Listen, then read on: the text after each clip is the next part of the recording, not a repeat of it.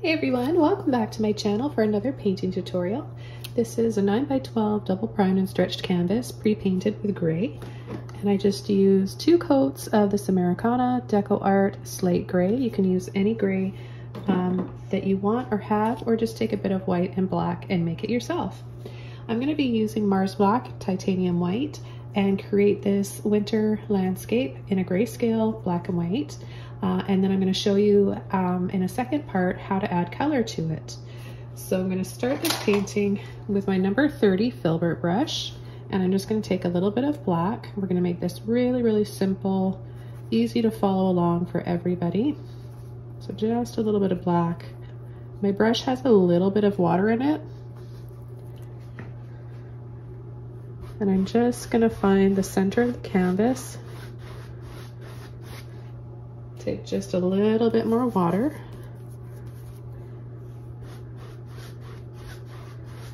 And I'm gonna go across the center.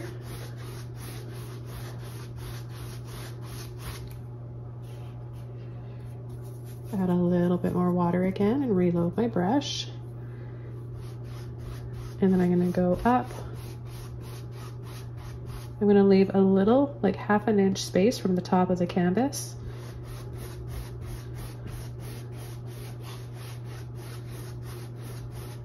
and then almost all the way down to the bottom.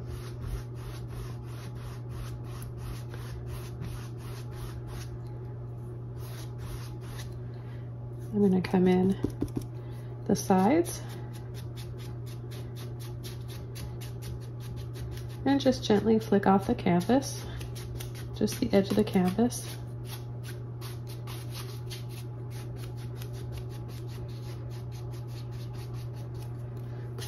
Do the same thing on the other side.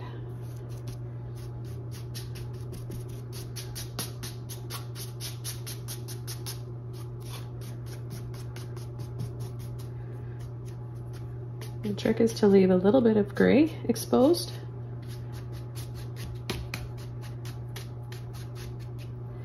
And then what I'm going to do is just gently pull down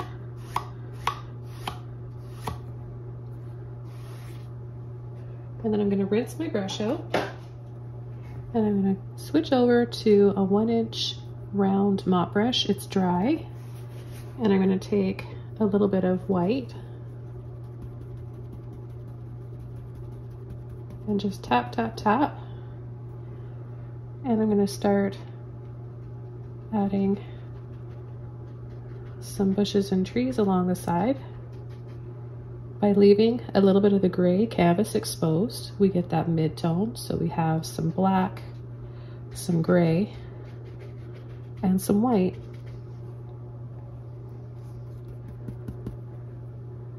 I'm gonna come on the right side and do the same thing, this time starting right in the corner.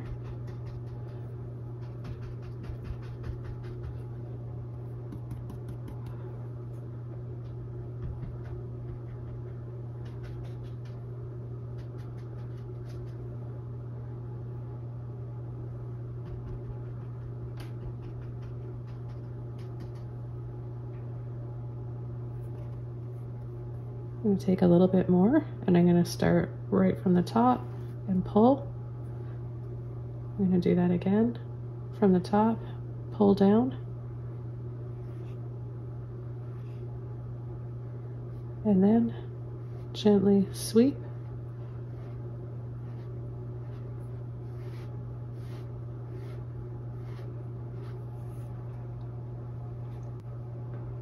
I'm going to go down to a one inch angle mop brush.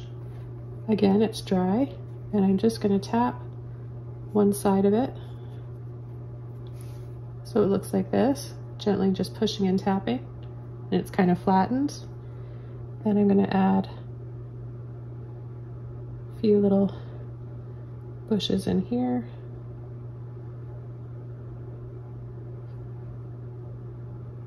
And then right underneath, I'm gonna line my brush up and pull and drop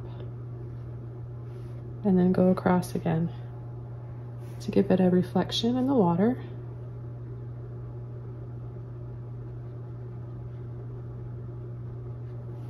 And we'll just add a few more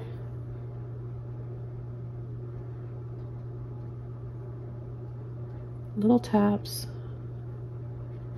Let the brush create those soft looking little bushes.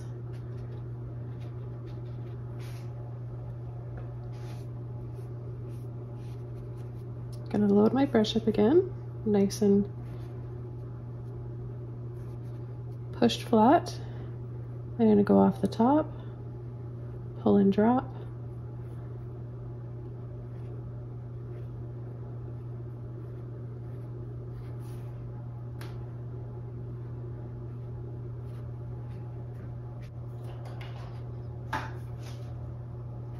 I'm going to take a number 16 filbert brush with a little bit of water.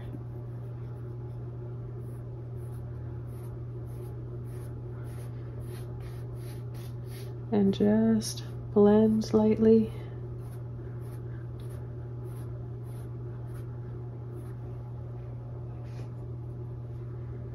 And go off the top again.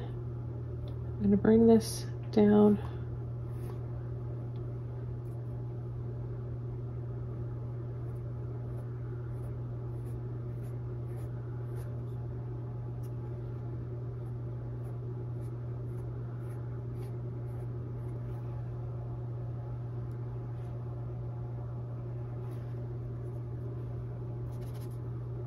I'm going to come in from here on an angle with my brush with more white and drop a few more waterfalls.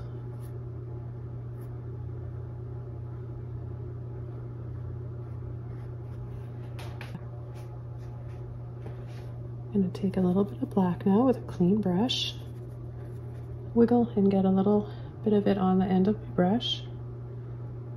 I'm just going to sweep underneath.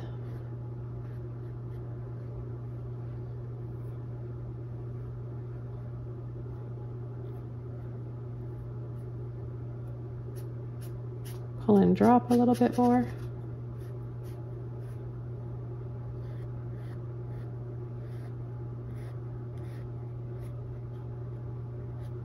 I'm gently going to pull up right in here.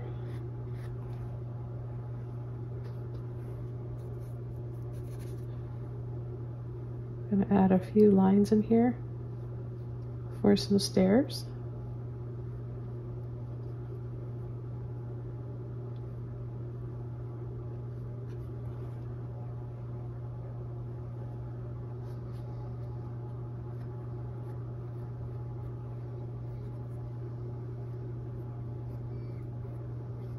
I'll just add a little bit more depth here by pushing and going up and over slightly with some more black. That way we get some height, maybe some rocks or some round looking bushes.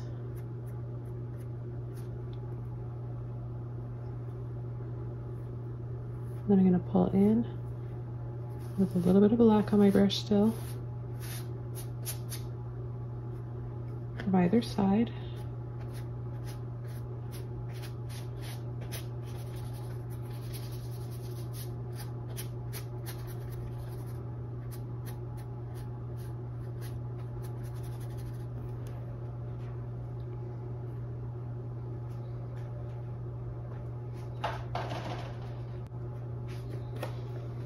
A clean brush, I'm going to wiggle.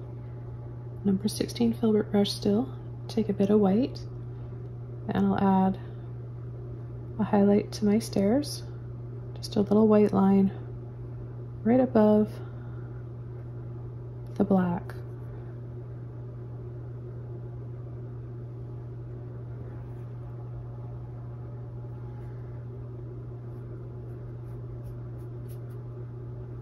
And then just a really soft reflection in the water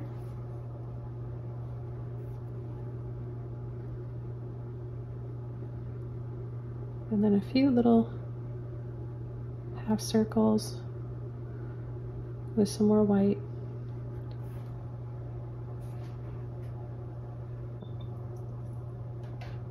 I'm going to use a liner brush to add some tree trunks and branches. I'm getting my brush really wet and I'm going to take some white. You can do this in black or white or both. Black first and then white for a highlight or white first and then black for a shadow.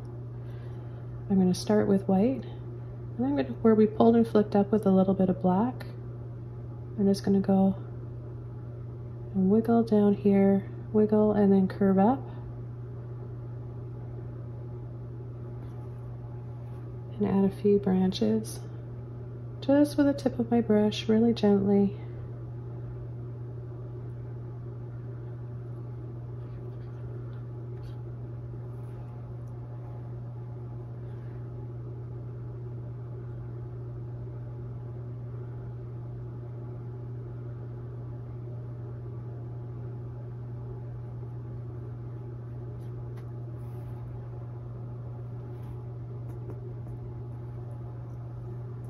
And then I'll add a few branches tucked in these trees over here. So to make them really, really delicate and thin looking, you want to hardly touch the canvas at all. So very, very little pressure and give it a gentle little wiggle as you're pulling it across.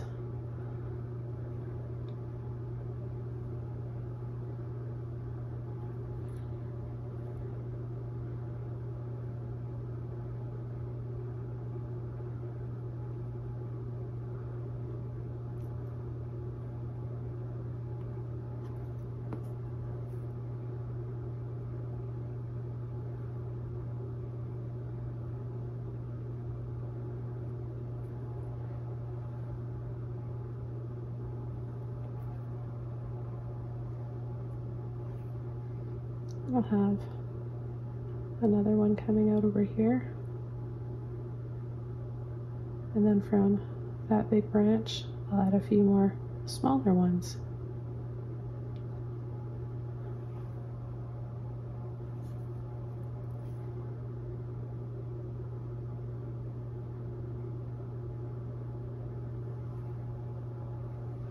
I take a little bit of water on my brush and just twirl it around Get it nice and tight again.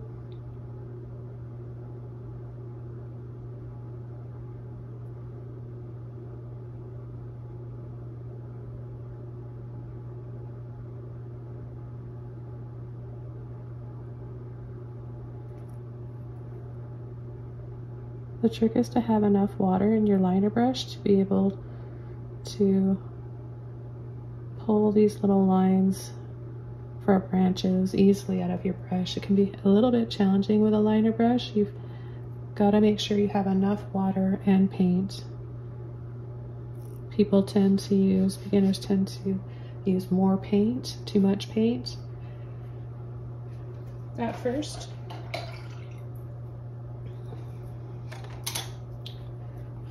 Now I'm going to take a little bit of black, clean brush, same liner brush here. I'm just gonna add a little bit more of a shadow to make this tree more visible because I'm pretty much adding, I've added the white onto white with all the bushes in the background. So just to make it a little bit more visible. We can make it stand out by adding a little bit of black here. You don't have to add it to every branch. I think this stands out enough up here. I like that. Kind of just disappears off into the white.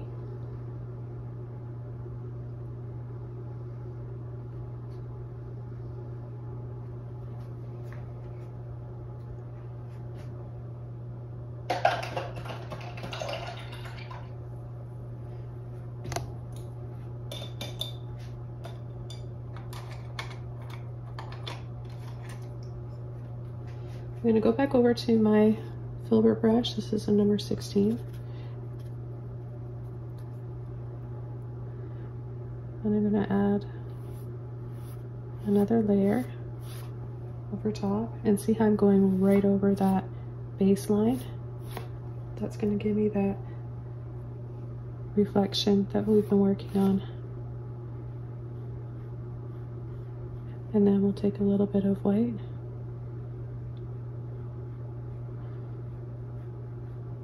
See the white's on the very tip of my brush.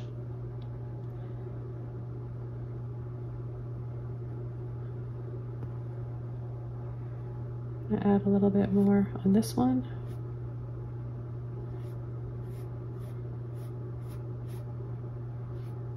Make these ones a little more visible.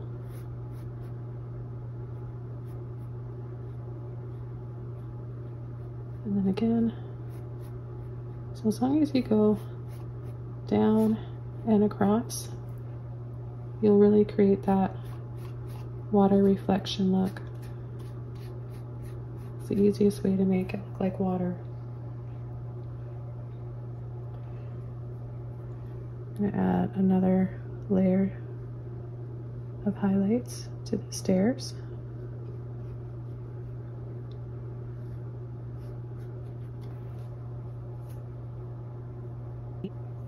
Okay, with a clean and dry mop brush again, I'm going to go back into my white.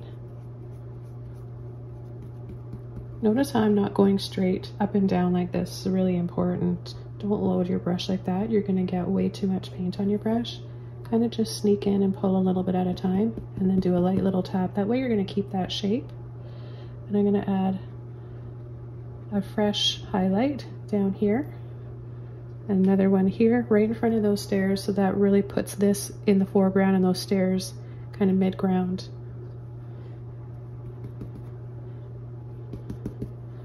gonna add a little bit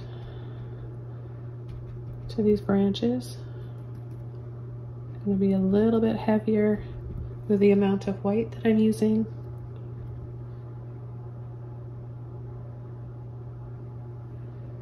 And then tap a little, little bit right in here, nice and flat. We've got a little grassy area here. Just to sit and view the beautiful waterfall.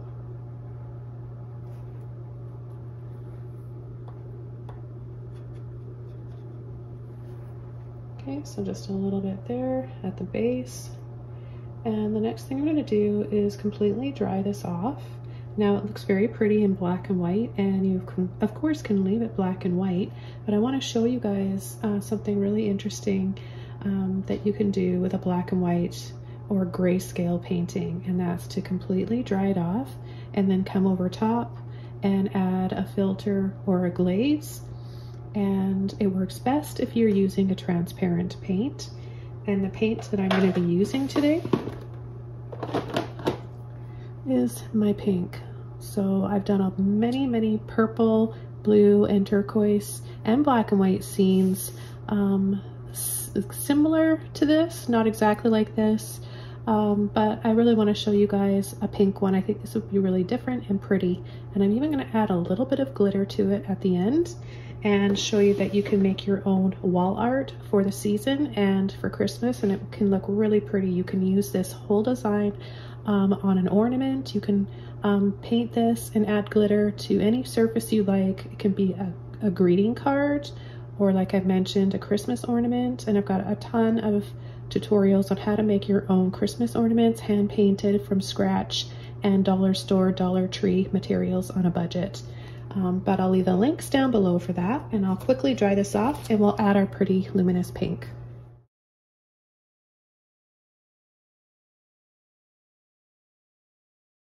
Okay, so now this painting is all dry, I'm going to apply a little bit of my neon pink. You can use any transparent color that you want. This is just what I'm choosing to use today, but no matter what color you choose, it's gonna look so pretty and you're gonna love it. And like I said, you can also just leave it black and white and add a little bit of glitter and gloss at the end as well. That would look really nice. Okay, so I'm gonna be using my number 30 filbert brush. I've washed it and dried it off, but I can't dry it completely. There's a little bit of water in there, uh, and that's just the right amount that I need to help add this glaze. Now there are glazing mediums. I'm doing the same thing, just with a little bit of water and transparent paint, but you can purchase a glazing medium to help your acrylics flow across the canvas. And I'm just gonna take a little bit of pink here, wiggle it out of my brush so I don't have too, too much paint on my brush. And I'm just gonna start applying it over top. So see how delicate, soft, and pretty that looks? It's up to you how much you want to add. You can add just hints of it here and there. You can add a few different colors. Incorporate some phthalo green, blue, purple, you name it, any color of your choice.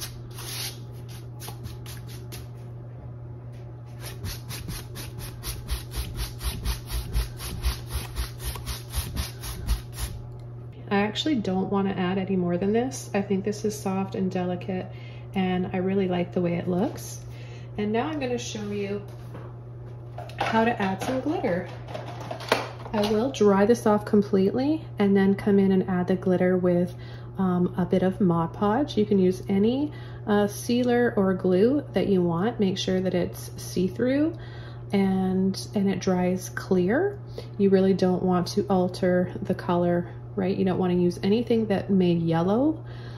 And so I'll show you not only the glitter I'm using, but uh, the Mod Podge that I'm using as well to apply. So I've got this fine glitter. It's iridescent, so it's not going to take away from the painting. It's just going to add to it. Very, very subtle and beautiful.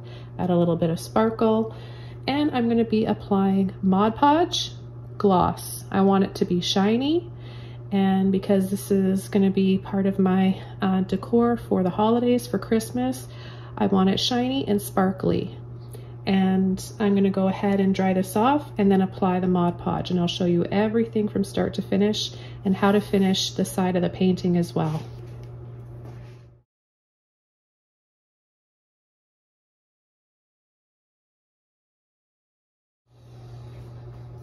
I always like to give my Mod Podge a little shake.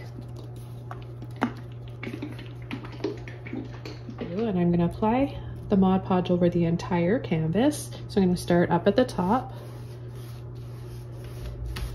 And I'm gonna do this quickly because it will dry quickly and I need to add my glitter to it while it's wet.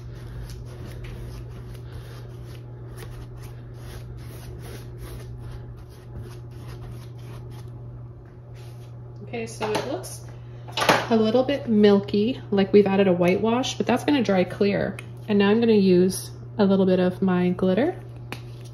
I'll just add a little bit in my hand, the palm of my hand here for you to see.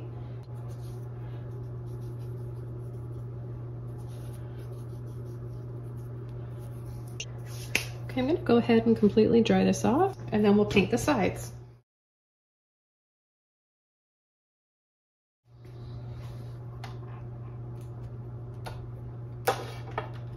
So I'm just gonna take this out of the easel so that I can move it around and you can see where it's really sparkly. So I just added extra glitter here, a few different areas here, here, and here, and then had it just really subtle in the other areas. Now I'm gonna finish the edges of this painting with black. You could make yours um, glittery.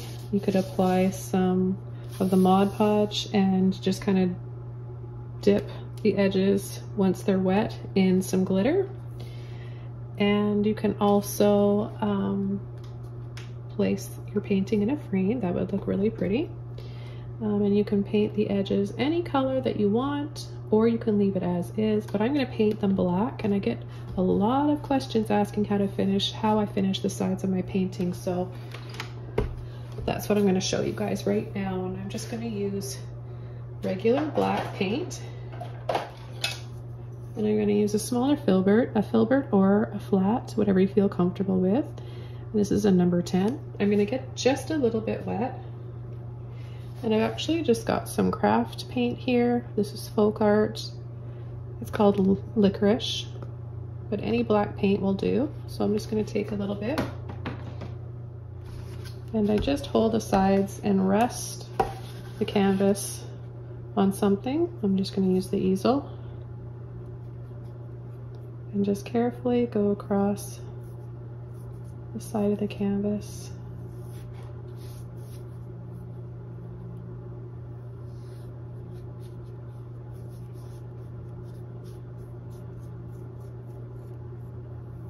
Personally like black for painting the sides of my paintings.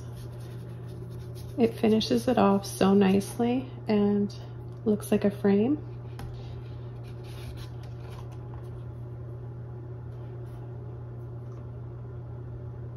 Okay, reload my brush, come along the bottom.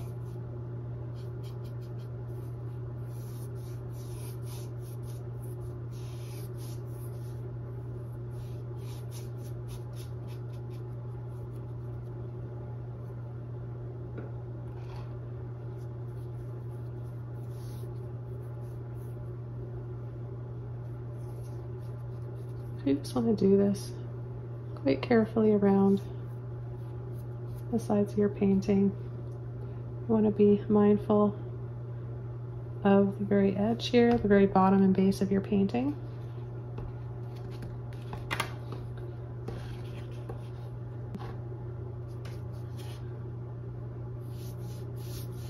So I have in the past and once in a while I will apply gold leaf.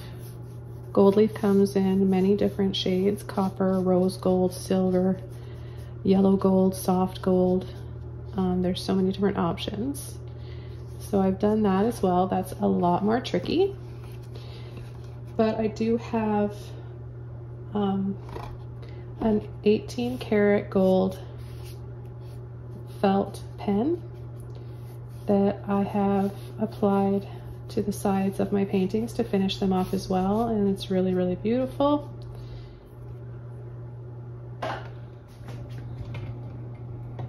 So just to give you an idea how pretty that looks.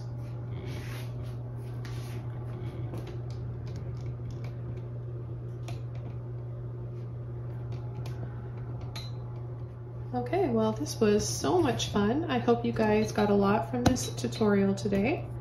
Uh, be sure to subscribe to my channel. There's a subscribe button there. It's free and tap the bell so that you don't miss out on any of my upcoming tutorials. I upload quite often here as well as Patreon. I've got some exclusive amazing tutorials for my patrons to say thank you as well as some gifts and lots of benefits so you can go check that out as well thank you in advance for all your support any donations if you're here for uh, this live then I appreciate uh, you guys being here and all of your uh, donations super thanks super chats and I'll see you guys soon in my next video. Take care, everybody. Thanks for watching.